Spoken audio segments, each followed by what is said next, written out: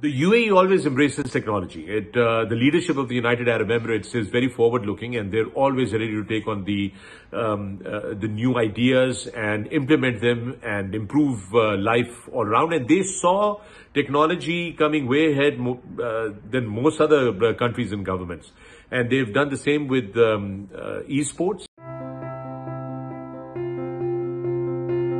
Gaming is one of the fastest growing industries uh, in the world right now. Year on year growth in the last two years has been 900%. Uh, today it's estimated that the e-gaming industry, video games industry is $300 billion annually.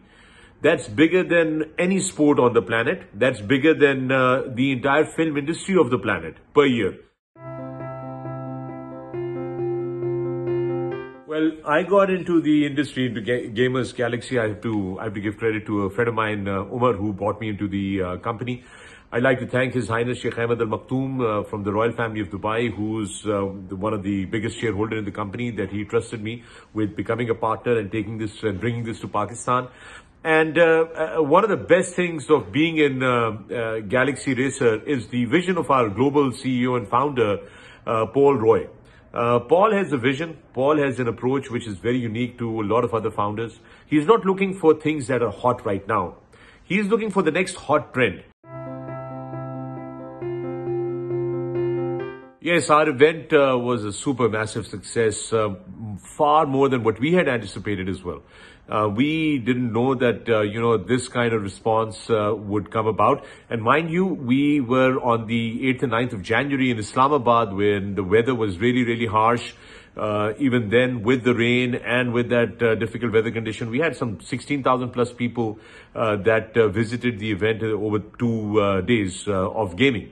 And it is very clear that the gaming culture is huge in Pakistan and it's going to grow further. And as time goes by, we'll see more and more gamers and bigger gaming events We've already announced two major initiatives this year. One is the Pakistan's first ever professional e-gaming uh, video games uh, league. It's called the Galactic uh, Sup- uh, Supreme Galactic League, and the other is the Schools and Colleges Championship throughout Pakistan, which is known as the Scholars Galaxy.